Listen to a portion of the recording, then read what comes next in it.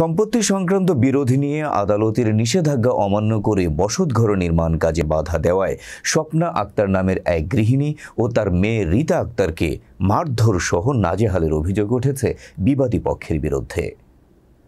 বুধবার সকালে লক্ষ্মীপুরের রামগঞ্জ উপজেলার মুক্তারপুর গ্রামের দক্ষিণ মোল্লাবাড়িতে এ ঘটনা ঘটে। আমাদের রামগঞ্জ প্রতিনিধি জানিয়েছেন, মুক্তারপুর দক্ষিণ মোল্লা বাড়িতে সম্পত্তি সংক্রান্ত বিষয় নিয়ে ওই বাড়ির কবির হোসেন রেটুর সাথে মোহাম্মদ আব্দুর রব, মোহাম্মদ ইমাম হোসেন সজীব, মোহাম্মদ সোহেল গংদের বিরোধ চলে আসছিল।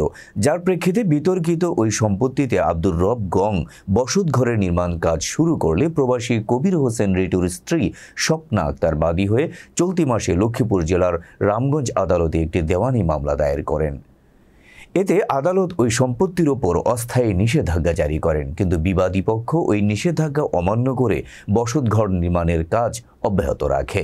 যার প্রেক্ষিতে বাদী স্বপ্না বুধবার সকালে বাধা প্রদান করলে বিবাদী গং ক্ষিপ্ত হয়ে ওই বাদী ও তার মেয়েকে মারধর করে। এ বিষয়ে জানতে চাইলে বিবাদী আব্দুর রব ও তার ছেলে মোহাম্মদ সোহেল জানান। স্বামীর জায়গাতে তারা বিল্ডিং করে। আমি বাধা দিতাম এরা আমার মারধর করছে।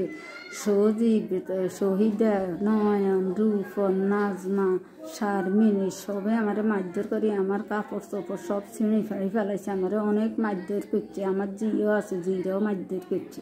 আমরা এলাম মাঝি দুজনে এটা আমার সম্পত্তি। আমি সম্পত্তি, আমি বুক দখলে আছি। হ্যাঁ ওরা আমাকে খামাকা হরানি করতেছে। এই জায়গা ওদের না।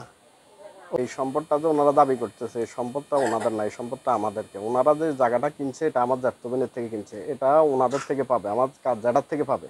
ওনারা আমাদেরকে কি জন্য হয়রানি করতেছে, এটাই আমি বুঝতেছি না। এটা আমাদের অলরেডি বসতঘর ছিল অনেক আগের।